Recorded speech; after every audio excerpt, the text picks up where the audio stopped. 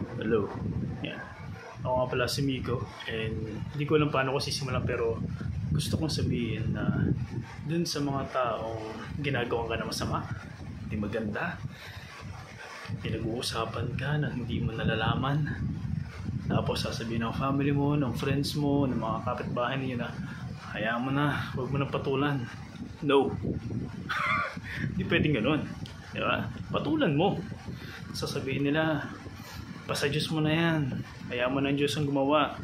Ma- Mainam na be a better person. No, again.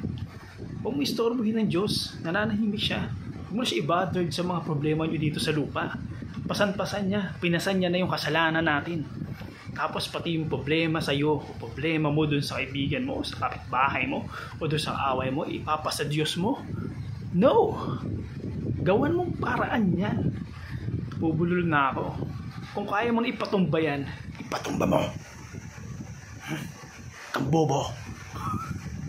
Bobo lang ang nagpapatalo. Tama na yung Mara Clara. Wala nang ganun.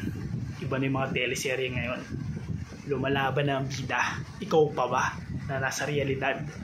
Bobo ka. Pag hindi mo pinatulan, patumba mo na.